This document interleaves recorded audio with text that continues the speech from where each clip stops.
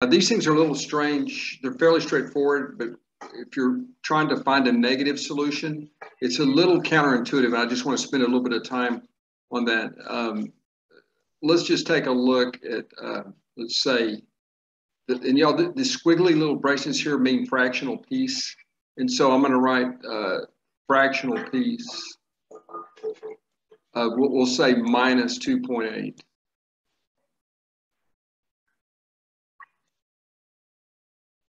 Now, when I first looked at this a while back, um, I thought, okay, the fractional piece is just the, the uh, decimal part. And so I would have thought the answer would be minus 0.8.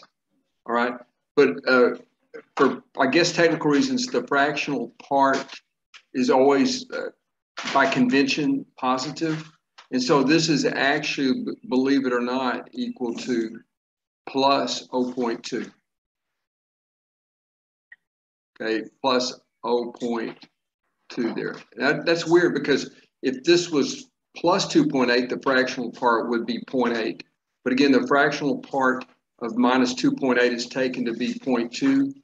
Now, it turns out this little definition down here kind of meets the task for all integers. In, in, in this particular case, you could see that uh, we would be talking about the fractional part of minus 2.8.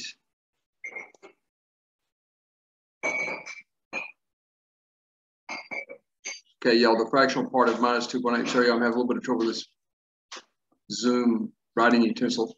But uh, it would be uh, in this interval, uh, it'd be contained, I mean, for x contained in this interval, uh, and that really should read for x contained in this interval, it would be the interval would be minus three to minus two, right? And y'all, again, this is for X, for uh, X a member, right? So this X is definitely contained in this interval, right? But what you do is uh, this becomes equal to x minus this negative 3 that you see right here, the i. And so this would be equal to uh, uh, x is 2.8. So we would have minus 2.8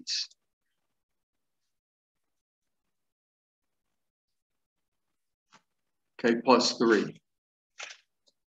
Now, I know that seems very strange, but I guess it's very important for the fractional piece to always be positive in a lot of other contexts. I'm not 100% certain about that, but that is equal to 0.2. Okay, 0.2. Okay, y'all, again, pretty pretty strange, isn't it? It's kind of hard to get used to that. But one way to one way to make sense out of it is if you just remember what the graph of the fractional piece looks like. It looks um, It looks something like this. It's kind of a sawtooth shape, like that. And so this this this definition of it extends all the way, you know, like all the way across, even on the negative side. Okay, so uh, it would look like, uh, well, sorry, it looked like that, you know. And but anyway, that explains more or less why uh, negative values have positive fractional parts. I hope. I hope that helps at least. So anyway, uh, this is going to come in handy actually solving this particular equation. So let's um, let's move down and take a look.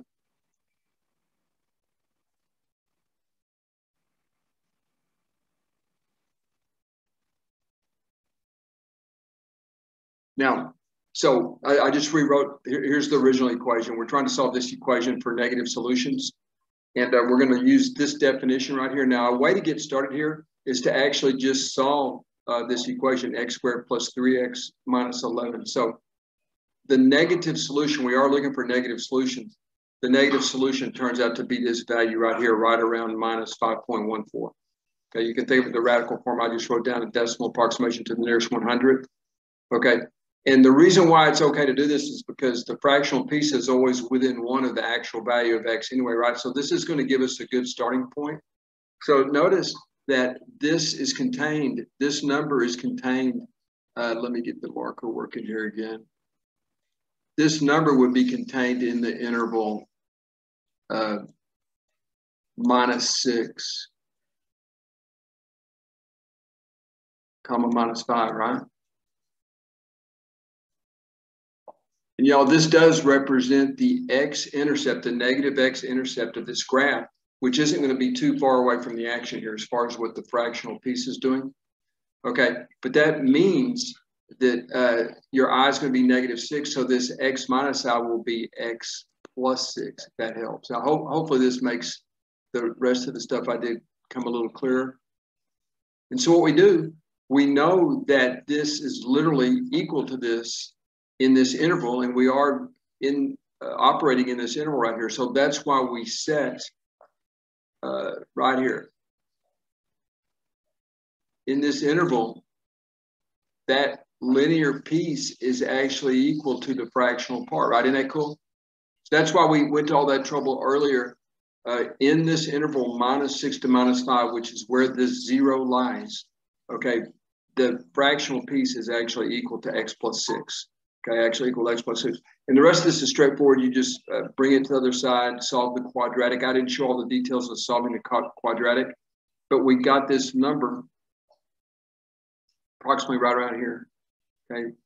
Now, when you evaluate the original function, in other words, when you evaluate this function at this value, you get a value that's right around uh, 0.76. But notice that is per our earlier demonstration, the fractional piece of minus, uh, minus 5.24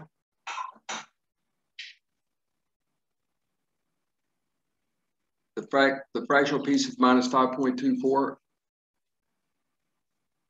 okay, is equal to uh, 6 uh, minus 5.24, right?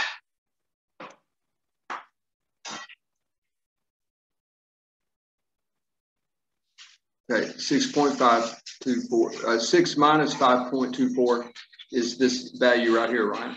So see, it's kind of crazy. I would never figure this out on my own without doing it like this. We actually get a number and it, the actual equation itself that's equal to the fractional part of that number evaluates uh, to the fractional part. Okay, again, this this right here is equal to uh, 0.76, right?